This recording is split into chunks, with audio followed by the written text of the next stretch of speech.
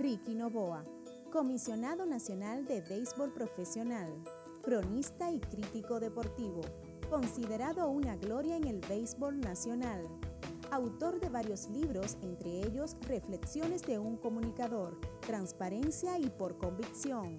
Además, es propulsor del proyecto de ley antidopaje, cuyo propósito principal, establecido en su artículo primero, es el de preservar la salud de los ciudadanos y las ciudadanas. Saludos. Vamos.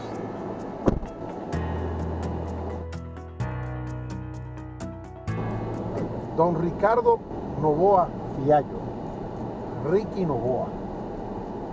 Vamos hacia el estadio Quisqueya. Digo, todavía se sigue nombrando así, ¿verdad? Como estadio Quisqueya. Sí, ese estadio Juan Marichal. Estadio Juan Marichal. Comisionado de béisbol. Pero- Todavía, todavía. pero ya con dejando en la agenda un anteproyecto de ley con respecto a lo que nos está sorprendiendo a los dominicanos con, el caso del dopaje, del- de lo que es los esteroides, que nos están ubicando como país, así como fuimos los máximos exponentes y representantes de grandes peloteros dominicanos, también la sorpresa que tenemos en esta temporada ha sido la gran cantidad de dominicanos que han sido sancionados, ya no solamente a nivel profesional, sino también desde las fincas. ¿Cuál es la realidad? ¿Qué es lo que está pasando ahí, Ricky? Es muy sencillo, lo que pasa es que no todo el mundo en su debido momento supo enfrentar esta situación, porque se trata de negociaciones con menores de edad. Los menores de edad no tienen el nivel académico, no tienen el nivel escolar, muchos de ellos pierden su nivel escolar. Son orientados también por padres y tutores que no alcanzan un buen nivel educativo, ¿no? académico, y entonces todo esto se conjuga eh, con la falta de orientación que reciben estos muchachos, porque solamente se trata de buscar el gran dinero y repartir ese gran contrato. Entonces estos esteroides anabólicos aparecen no por coincidencia ni fortuitamente, sino es toda una estrategia ¿no? para llevar a estos muchachos a un rendimiento que incluso no se corresponde con su desarrollo fisiológico y anatómico. Y entonces esto trae por consecuencia eh, tener que incurrir en estas eh, situaciones fraudulentas de sustancias prohibidas que son penalizadas según los reglamentos de MLB International. Pero resulta y viene a ser estos muchachos son eh, la primera, vamos a decirlo así, responsabilidad que tiene el Estado para supervisarlos y también educarlos y orientarlos. Nosotros en nuestra estadía en la oficina del comisionado, por nombramiento del señor presidente de la República, enfrentamos esta situación desde que llegamos y tú lo conoces muy bien. Hemos conversado en alguna oportunidad de este tema y entonces además de negociar, como te decía, con menores de edad, eh, también pues esto que también es muy grave, valga la redundancia, lleva como consecuencia el, la deserción escolar, el abandono del nivel escolar. O sea que hay una doble situación alarmante y lamentable en esta situación. Pues, En primer lugar, el dopaje, como tú acabas de señalar, que automáticamente decreta una suspensión eh, para estos eh, nobles jugadores que no entienden entonces cuando se le da un release por esto, cuando pierden, aún usando los esteroides, eh, pierden eh, el nivel para quedar insertos en el béisbol organizado de los Estados Unidos. Y esto trae como consecuencia, además de daño físico, también un daño psicológico, mental, Y un daño a la industria, y un daño a la industria, y un daño también a la imagen. a la imagen del país. Entonces hemos velado en todo este tiempo, hemos, hemos hecho una serie de enfrentamientos, no con una institución eh, en particular, sino con todos los agentes que intervienen en la industria del béisbol, que tú sabes que se invierte mucho en, en la República Dominicana y es fuente de mucha empleomanía. Pero esto no quiere decir que se pueda jugar ni con la salud física y mental de un muchacho por demás menor de edad.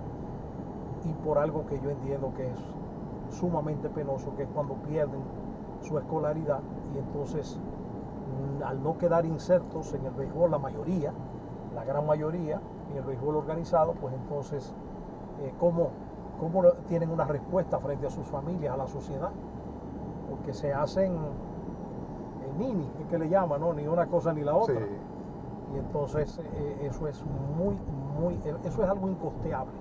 Es un daño que no hay cómo tú cuantificarlo para una sociedad donde el respeto a la educación como índice primordial en el desarrollo de una sociedad, de un país, se ve afectado por este tipo de operaciones que bajo ninguna situación pueden realizarse de esta forma. Y por eso estamos creando ese anteproyecto de ley vamos paso a paso porque queremos presentar ante el Congreso de la República un proyecto que real y efectivamente esté, bien determinado, eh, los, eh, eh, los conceptos bien señalados y puntuales para que definitivamente se penalice a todo agente, ¿verdad?, que facilite o, lleve a estos, o estimule a estos jóvenes muchachos dominicanos, ante todos, menores de edad, a eh, fracasar de una forma eh, tan lamentable en sus sueños, en sus aspiraciones de conseguir eh, pues, su sustento y el de sus familias en base o con base en el béisbol. Yo creo que esto sería determinante si hay normas establecidas de penalización para los que, te repito, osen por dañar a estos muchachos a temprana edad y entonces, detrás de todo esto, como te decía, la búsqueda de un gran dinero, repartir un contrato millonario, ¿verdad? Pero esa es la, minoría, un 2.3, un 2.4, un 97% queda eh, inserto en una sociedad y no sabe para dónde van a marchar, para dónde van a caminar, y entonces ahí estamos nosotros como supervisores de, de las operaciones del béisbol en la República Dominicana. Y ha sido nuestra lucha desde que hicimos nuestro primer plan, un plan social y educativo para estos muchachos de orientación ¿verdad? y de prevención de que no, eh, bajo ninguna situación, porque todo rompe por el pelotero, por el prospecto, pero los entrenadores, eh, muchos de ellos inescrupulosos, muchos de ellos también y los, mismos, agentes, muchas veces por cobrar sus comisiones, adelantan procesos que al final lo que le están es haciendo un daño. Sí, con organismos que están inmaduros para ciertos eh, niveles de exigencia eh, atlética, ¿verdad? de competición, o sea, hay niveles de competición que tú no puedes alcanzar eh, para quedarte inserto en un trabajo como este. ¿no? A la verdad. Entonces es, es algo dantesco realmente lo que hemos venido enfrentando en esta situación frente a muchas familias que están por ahí. y los propios intereses de esos agentes y de esos que han contribuido a hacer ese daño. La verdad que una actitud muy responsable de tu parte, eh, asumir en la gestión del comisionado de béisbol para proteger esa industria en sentido general. Exactamente, es, es prioridad del Estado, del estamento deportivo del Estado, de sus políticas públicas en materia de deportes, eh, pues velar por la sanidad y sobre todo la educación de estos jóvenes prospectos menores de edad, porque en ninguna parte del mundo usted puede ir a negociar a la escuela con un muchacho y a un high school. Eso es, eso es prácticamente criminal. O sea, usted le ponen unas esposas inmediatamente cuando usted incita a un muchacho a abandonar la escolaridad y su nivel educativo.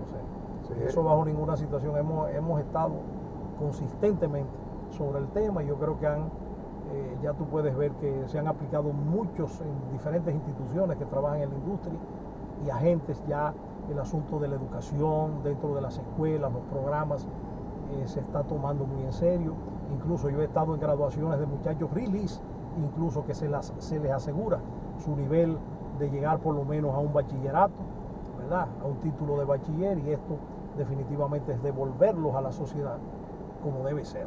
Eh, si no dan la prueba, si no ¿verdad? llenan el nivel esperado para optar por una gran firma, pero que sí todos pueden llegar a ser buenos ciudadanos para la sociedad y, no, y la gran minoría pueden llegar a ser estrellas o superestrellas del béisbol.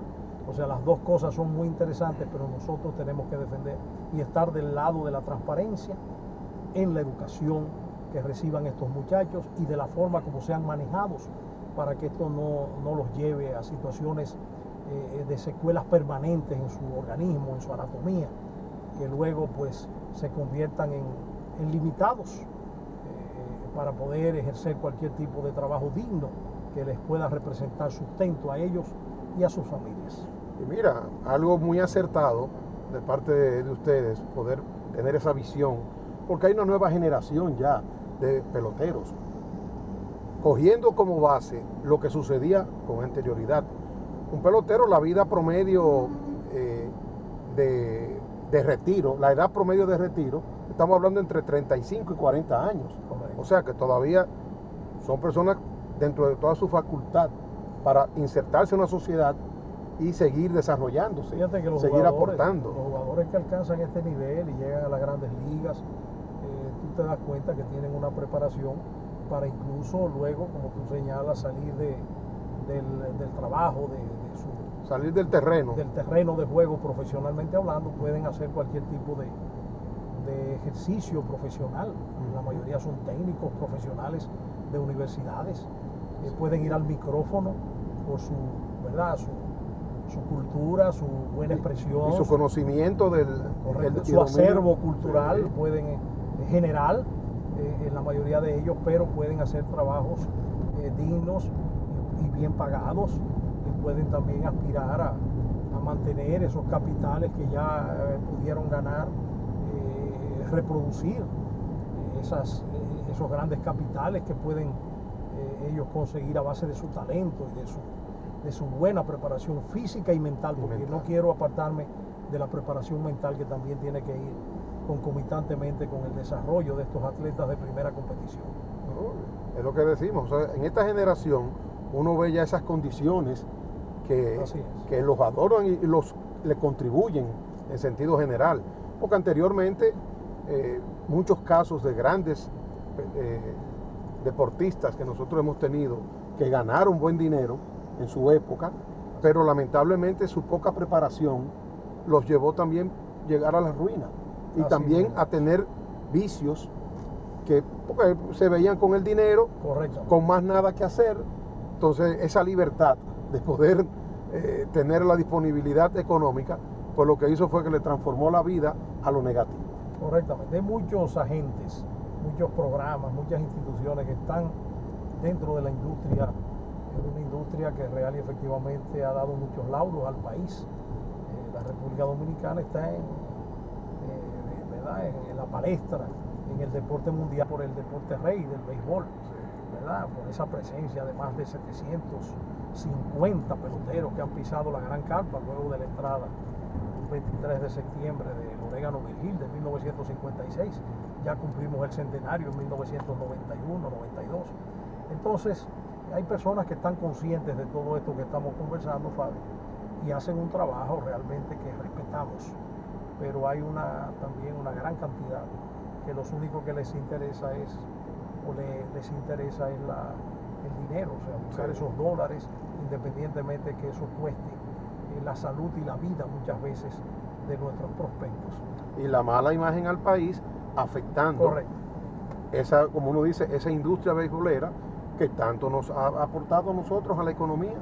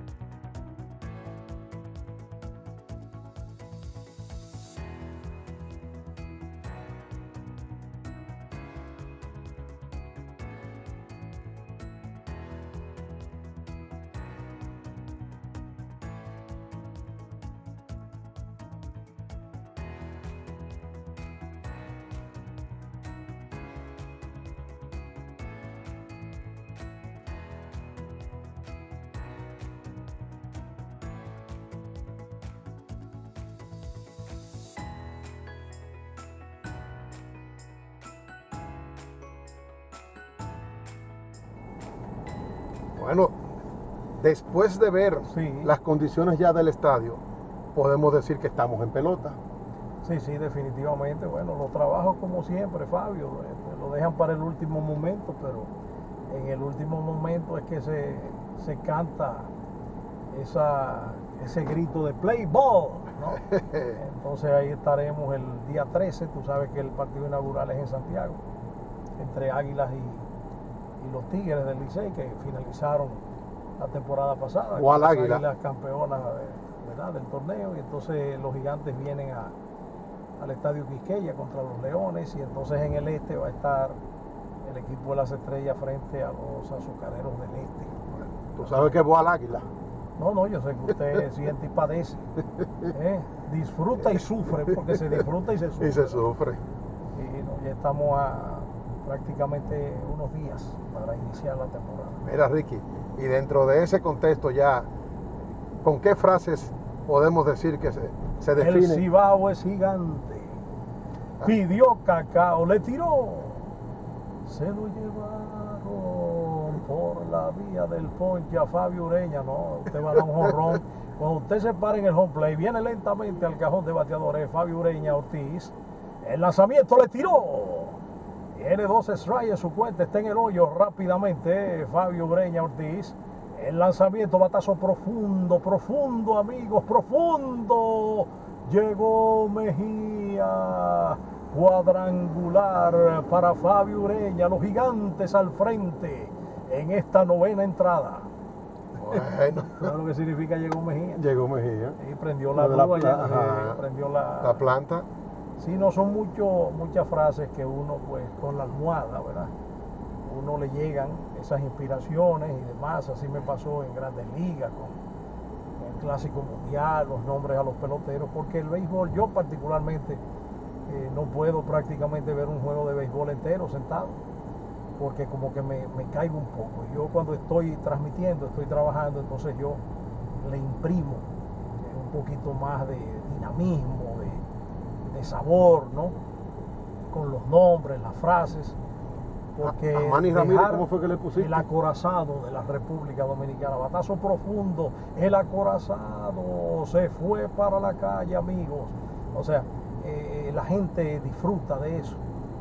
Y son inspiraciones, los japoneses ni hablar con la disciplina, que fueron los dos equipos que fueron a la final y finalmente eh, ganó el equipo de selección del Japón, con Sahara O, jonronero famoso como manager, lo conocí allá en San Diego, Eh, pero ellos lo merecían, ellos estaban bien en forma, eh, esa disciplina, eh, ¿verdad?, de, de los orientales no falla a la hora de la competencia.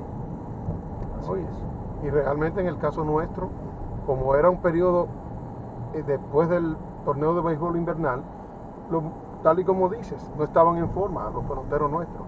Así Porque mismo. no habían entrado, bueno, recién se iniciaba lo que era el, el campus de entrenamiento. Sí, mira, yo creo mucho en el talento, eh, no solamente el talento que ya es ampliamente mostrado a nivel de grandes ligas, el, el- deporte o el béisbol de más nivel, ¿no?